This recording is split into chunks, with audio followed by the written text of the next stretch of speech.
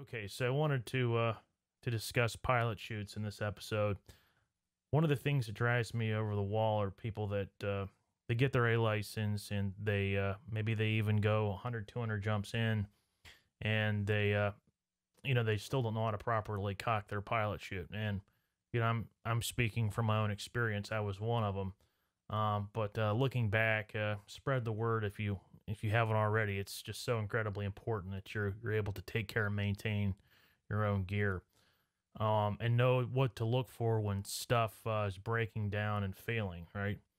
So a lot of people they don't even know what an uncocked pilot chute looks like, which is here on the left versus a cocked pilot chute. Um, they just see a window, um, a little window on their bridle and if something's painted a certain color, they proceed to jump it, right? Or they do some bullshit test where they drop the pilot chute and they see if it it glides to the air and doesn't immediately sink. You know, it's probably okay if I jump this. There's there's not going to be anything wrong. Um, but you really need to know what to look for um, when you're cocking your pilot chute. And again, this is extremely important.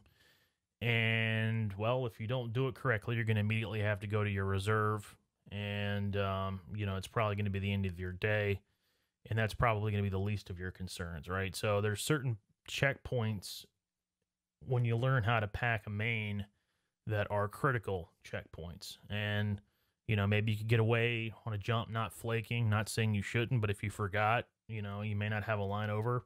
Again i'm not saying you shouldn't you shouldn't flake every time but it's it's not as important as as making sure your pilot your pilot chute's cocked right um, or that you don't have a shitty closing loop, right? Those are things that uh, they can kill you. All right. So I wanted again, like I said, to create a quick episode to show you what to look for, make this easy for you, so you're not, uh, you know, just always relying on some window that some person at uh, some manufacturing company um, who doesn't know what they're doing could have accidentally messed up on, and you're jumping a, a pilot chute that's not actually cocked. Just as a side preference to this, I mean, there's really no alternatives. You're only going to see the collapsible pilot chutes like this on um, on sport mains. Um, and when you start getting into seat and chest and lap, all those for emergency situations, use the spring-loaded pilot chutes. Honestly, unless you're jumping some uh, high performance sub 150s, maybe even smaller than that, you're not going to notice a lot of performance degradation under canopy if you have a, a non-collapsible pilot chute. So most of these manufacturers also make a pilot chute that stays permanently cocked. And you inevitably jumped one when you were on student status. And um, well, the idea there was is if, if you forgot to cock your pilot chute, which you didn't have to cock because it, well, it stayed permanently cocked, was no big deal. It basically eliminated uh, pilot chute and tow, right? Um, I strongly suggest, you know, if you're jumping 170, 180, you know, 190, 210, 230, anything like I said, over 150 square feet in terms of main canopy size, I personally would just stay with a, a non collapsible pilot chute. Then you don't have to worry about this, right? And again, you're not going to notice a lot of performance degradation. Um, jumping a non-collapsible pilot chute unless you're jumping something like I said it's very steep a lot of performance. Um, you know then that's when you're talking maybe uh, you know getting a collapsible pilot chute is going to be uh, very very noticeable. But uh, here's what you're looking at. On the left we have a collapsed pilot chute that you would commonly see when you get down from a skydive. And on the right we have an uncollapsed pilot chute that's been cocked and it's ready for a skydive. Notice here that on the collapsed pilot chute that the kill line, which you can't really see, but it's connected from the apex top of this pilot chute, routed through the bridle is straight. And then there's a piece of tape inside of this pilot chute that's loose, right? So we use the terms loose and straight. So again, we've got loose tape here, right? And we see how too how close this handle, this is where the handle's at, how close that is to the bridle. That's an easy way to tell. There's two ways you can actually tell visually you can look at it and you can see when you hold it straight up that this handle is very very close to this bridle right in relation how far it is away when it's cocked right And then you can also tell because if you look at the kill line, the kill line is just a Spectra line that runs through the bridle and attaches at the apex point of the pilot chute. It's straight. And again, you can't really see it in this picture. You can clearly see it here, and we'll talk about this in a second. But it's straight. And the tape that runs through the pilot chute, it's loose. So that's how you can tell that it's not cocked and that it's not ready for jumping. It's collapsed. Now, here on the right, and I'm going to show you at the end of this video, it's a two-step process. Really, really, again, bothers me. I see so so many people these days that don't know how to cock their pilot chute properly. Um, that you've got the uh, the Spectra kill line that wasn't loose when it was collapsed. You've got it now loose when it's cocked and you'll notice that this seam tape that runs inside the pilot chute is straight. So again, when it's cocked, you can tell now you can see how far away that handle is from the bridle.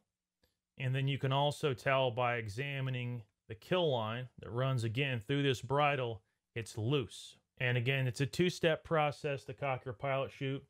One involves gently you don't want to rip any type of bar tacks. I see people that are just yanking on the uh, on the pud or the hackey when they're when they're cocking their pilot chute, which is not something you have to do.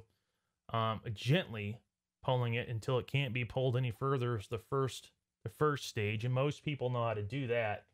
But then fully cocking your your pilot chute by grabbing this kill line and then sticking it inside of the pilot chute once you're through is the second step again, you're most people are incorrectly taught when they're when they're licensed skydivers, unless you're getting licensed by you know a smaller drop zone that does static line. You've got a master rigger. Most people that come off student status aren't properly cocking their pilot chutes, and you know by the time that they've got it into their you know their main canopy into the deployment bag, it's uh it's just enough to pull the main out. But um, you know, on some of these bigger canopies, there may not even be enough drag to do that. So again, it's very important. I mean, you can look at this from a visual standpoint, and you don't even have to to uh, to drop your pilot chute to know that it's cocked and working properly. Um, again, this is something that I recommend doing uh, before you put your your main canopy into the bag. A lot of manufacturers don't have this kill line right here. Um, inside of the bridle. I know Vector does, but a lot of them don't. And if you try cocking your pilot chute um, while the uh, the main is in the deployment bag, you know, having this Spectra line run on top of your your main canopy like that will will cause some wear over time. And I'm going to show you again in a video coming up here in a second. Uh, again, the two-step process for cocking your pilot chute. And this is extremely important.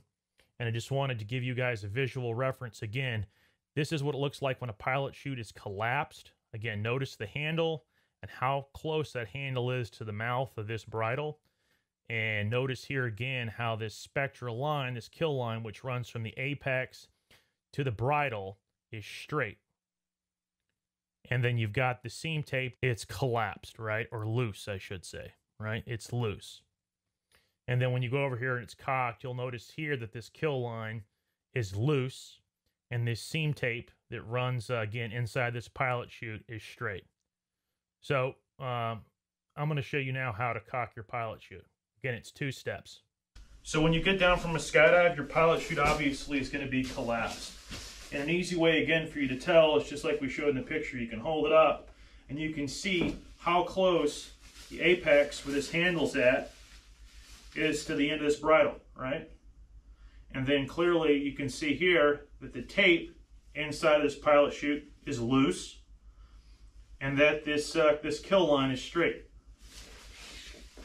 Also too, if there's any confusion, the bridle attachment point to the main canopy that's routed through the deployment bag is pretty much straight. Right? A lot of people don't know what it means if it's squunched or if it's straight. It's, it's straight.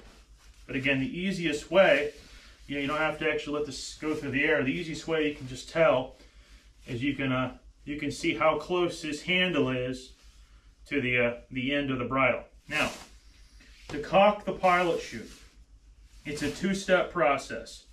First, you want to take the deployment bag and get it as close to the attachment point on the main canopy as you possibly can. And I like to stand right here on the lip of this deployment bag, right? And gently, do not pull hard because again, this handle is just uh, just attached to this pilot chute by a couple of bar tacks and some straight stitching, right? You can rip this off and that would that wouldn't be good. That would be a reserve ride.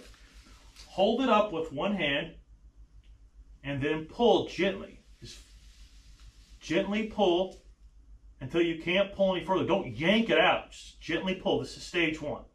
Again, there's very, very little tension in my left hand pulling this handle to partially cock the pilot chute. The pilot chute's partially cocked right now, but it's not fully cocked. And again, the problem I see is people that uh, they get uh, to the point where they're they're pinning, they're pinning, and they're uh, about to close the uh, the main packing tray, and well, their their pilot chutes that's come it's come un, uncocked, and that's a major problem, especially on the larger canopies. So what you want to do for the second stage is, is you want to grab this kill line, right? And you want to pull the kill line as far as you can pull it while still keeping the bridle that's in your left hand straight. And then what you can do is, is you can take this, this bit of kill line and just stick it back in the pilot chute. This is a fully cocked pilot chute. And you can tell that it's fully cocked, again, by examining. You don't need to do this floating stuff through the air.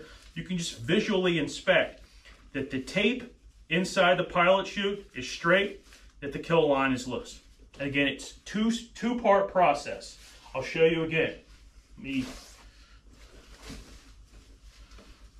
let me collapse my pilot chute again. This will be scrunchy. This will be scrunchy inside the deployment bag, um, which is perfectly normal because that's a sign that it's cocked. We didn't even have to look at the window on the uh, on the bridle to determine whether or not it was cocked because I don't trust that thing. I mean, uh, who knows who manufactured this uh, if they did it correctly. You want to be able to visually look at the pilot chute and determine based on visual inspection whether or not it's covered.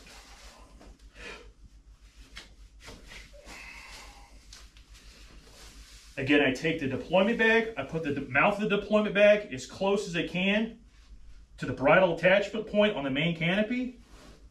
Move it if you have to. Gently step on it As high as you can get your hand is what I like to do. I've got the bridle in my right hand. I'm gently going to pull, not hard, gently pull the handle in my left hand. There's very little tension on it at all. Again, keeping the bridle straight, that's step one. We've partially cocked the pilot chute, but it's not fully cocked. Step two, Grab the kill line coming out of the mouth of the bridle. Keep the bridle straight in your right hand and pull the kill line until you can't pull it any further. Kill line goes back into the pilot chute and now it's fully cocked. And if you want, you can check the window and it's black. Again, a two-step process, cocking your pilot chute. Don't be caught thinking that you can you can jump out and have a successful deployment with a half-cocked pilot chute. Again, the tape inside the, the pilot chute is straight and the kill line's loose. Hope this helps. See you on the next episode.